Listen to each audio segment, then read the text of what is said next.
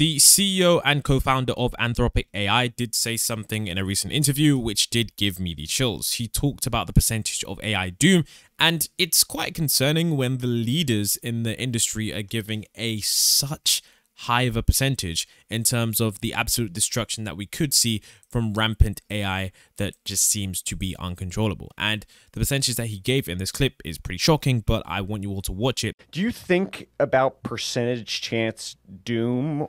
I think I've often said that my chance that something goes you know, really quite catastrophically wrong on the scale of of you know human civilization. You know, it might be somewhere between 10 and 25 percent, when you put together the risk of something going wrong with the model itself, with you know something going wrong with human you know people or organizations or nation states misusing the model or or it kind of inducing conflict among them or or just some way in which kind of society can't can't handle it. That that said i mean you know what that means is that there's a 75 to 90% chance uh, that this technology is developed and, and, and, and everything goes fine. So yeah, that was the first part of the clip. And of course, you might be thinking this is just hearsay, but I do think that it is vital that these leaders in these AI industries, you know, for example, this guy, if you don't know what Anthropic is, it is the company that built Claude 2, the very, very big LLM that you can input huge pieces of text to into. In fact, I think if everything goes fine, it'll go not just fine, it'll go really, really great. Um, again, this stuff about curing cancer, I think if if we can avoid the downsides, then this stuff about you know c- about curing cancer, extending the human lifespan, um, you know, solving problems like like mental illness. I mean, I, this all this all sounds utopian, but I don't think it's outside the scope of what the technology can do. So, you know, I I, I often try to focus on the seventy five to ninety percent chance where things will go right, and I think one of the big motivators for reducing that ten to twenty five percent chance is you know how how great it'll you know is trying to increase is trying to increase the good part of the pie. Um, and i think the only reason why i spend so much time thinking about the 10 that that 10 to 25% chance is hey it's not going to solve itself you know, I think the good stuff, you know, companies like like ours and like the other companies have to build things, but there's a robust economic process that's leading to the good things happening. It's great to be part of it. It's you know, it's it's great to be one of the ones building it and causing it to happen, but there there's a certain robustness to it.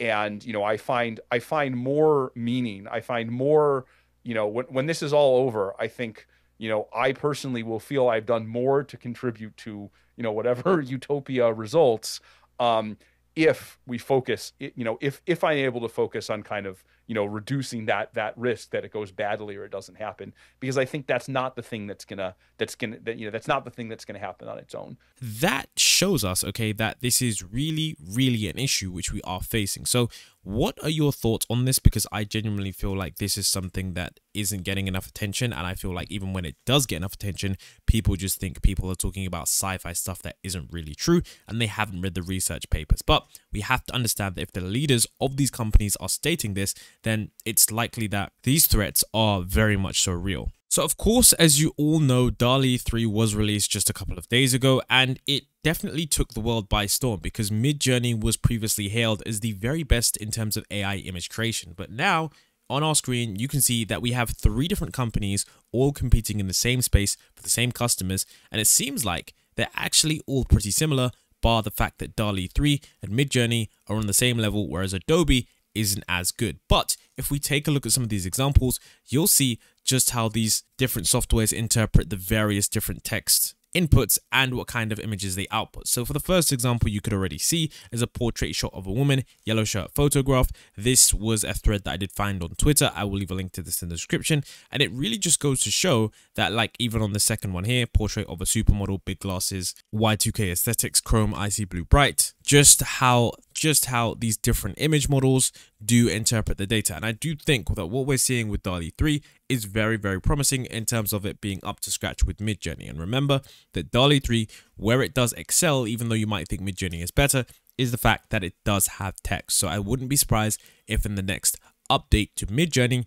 they do include text because of course they are currently working on 3D. Then of course we have the example of a little girl holding a teddy bear in the middle of nowhere with a photograph. I think all of these are relatively really really good. Then of course we have an arctic fox in the tundra, light teal and amber minimalist photograph. Then, of course, we have a confused woman sci fi future blue go.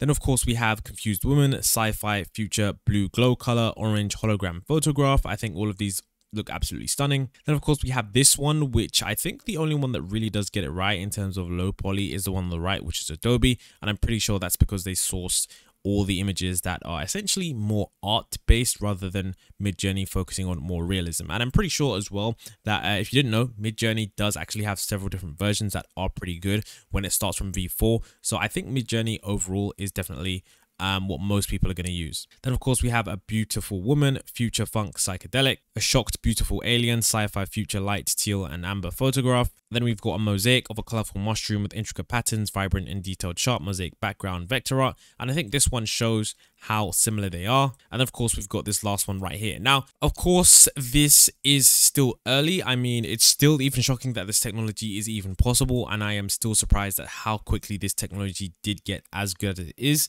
And I'm still surprised that this is even a reality. I mean, being able to generate this out of text to a completely new image is absolutely insane. But it just goes to show that will this be the case in a couple of years' time for video? Will there be video models that can instantly generate AI generated videos? Or is this just part of the S curve explosive growth that we are experiencing in terms of AI. So now this was something that was not really covered anywhere and I will be doing a full deep dive on this absolute insane research paper because it essentially says self-taught optimizer recursively self-improving code generation. And for those of you who don't understand, I'm just going to explain it in a little bit.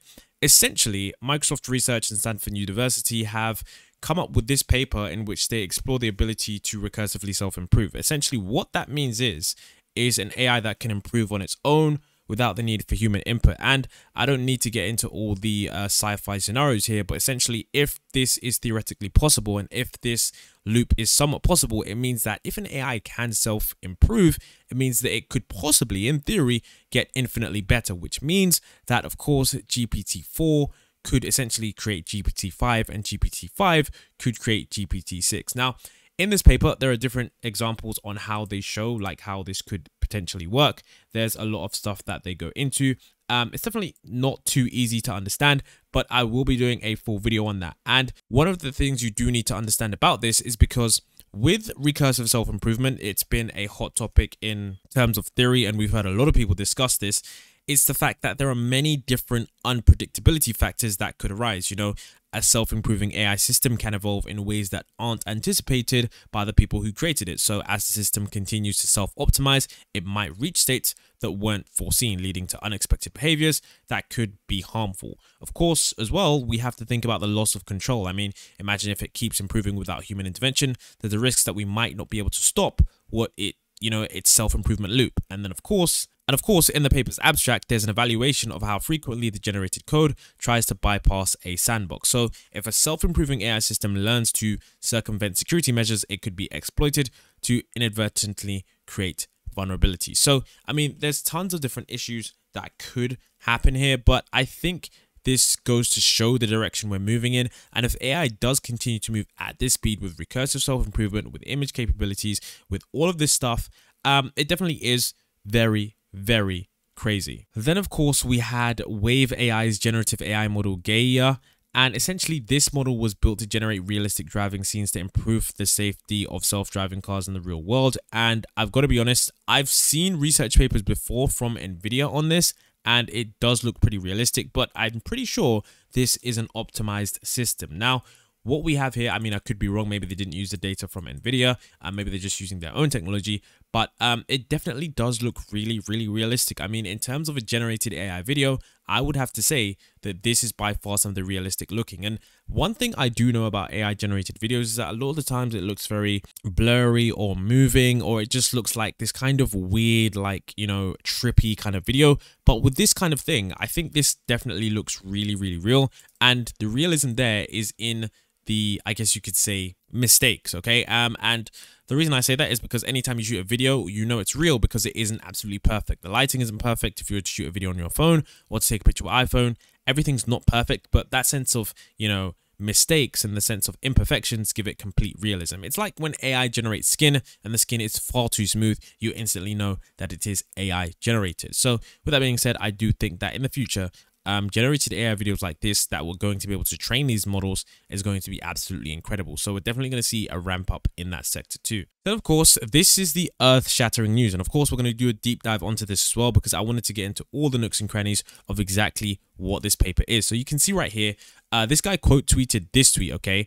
Um, and this was quote tweeted from a tweet uh, from Anthropic. I'm not sure why. Okay, so Twitter isn't working at the moment, but I can still show you the tweet, okay? So essentially, so essentially, Twitter isn't working right now as I'm making this video, but there was a tweet from Anthropic in which they talked about a very, very big breakthrough, okay? So of course you can see the quote tweet here that says this is earth-shattering news. The hard problem of mechanistic the hard problem of mechanistic interpretability has been solved. The formal cautious slash technical language of most people commenting on this obscures the gravity of this. Essentially, what this means is that AGI is not going to be safe, but superintelligence is coming. So, essentially, this Twitter thread dives into it more.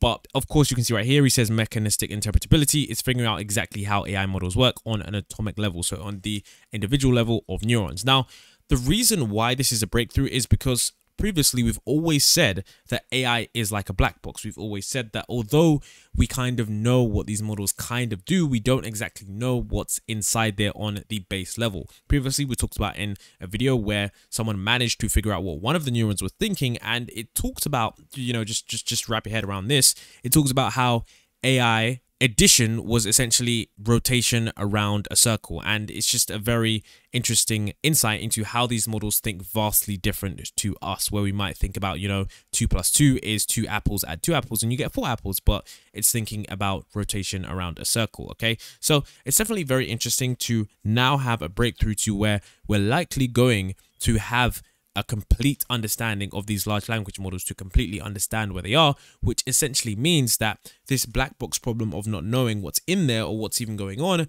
means that we can, you know, ensure that these models are safe before they're being widely distributed. So that will be something that needs to be explored further. And it's definitely something that we're going to make a full video on. But like we stated, it's genuinely surprising at how many breakthroughs are coming every single week. And I really can't believe that this is even moving as fast as it is. And I do wonder as to how quickly this is going to continue moving or if there's going to be some slowdown period because it does feel like we're moving at 100 miles an hour. Then, of course, if you weren't aware, Meta have been ramping up their efforts to compete with AI chatbots such as ChatGPT and other software such as Midjourney in terms of launching their own Meta celebrity AI thing there's not really much you can say about this other than it's interesting because I'm not sure if this is going to be a fad or it's going to be something that's likely adopted. I wish we could see a number on this in terms of the figures, in terms of people who are actually using the software, because I personally wouldn't use the software. I'm not sure of the real application since it's just an AI, not the actual person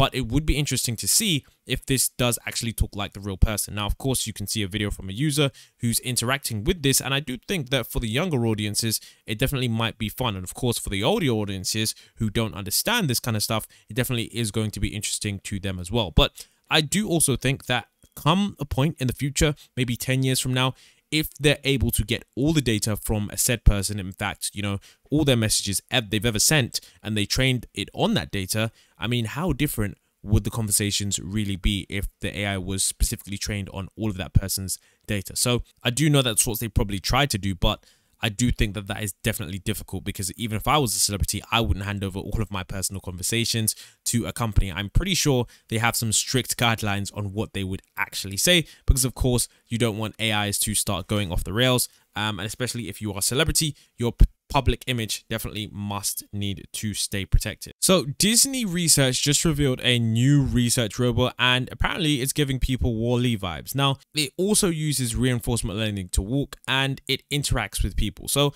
I think this robot right here is uh, crazy because I was waiting for the day that Disney finally decided to do something like this because Disney already has a large array of robots like this that they use for their shows, for entertainment, for kids, for all that stuff. And their robots are really, really good in terms of the way that they're able to move in human like interactions. So I do think that if Disney is able to, you know, craft something where they merge AI with this, we are definitely going to be living in the future because they are a real step ahead in terms of the realism of these robots. And I think people really underestimate what Disney have on their hands because they just haven't seen it in the mainstream yet. And the mainstream focus is, of course, been Boston Dynamics. But Disney are definitely there. and it's going to be absolutely insane because companies, as you know, like OpenAI, are pouring millions and millions of dollars into humanoid robots. So it wouldn't be a surprise if Disney comes out with their own AI robot, which is uh, roaming around the streets very soon.